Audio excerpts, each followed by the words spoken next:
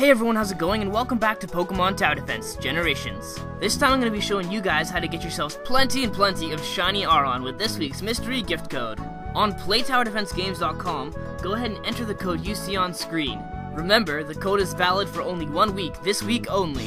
If all goes well, you should find all your Shiny Aron waiting for pickup in the Pokemon Center.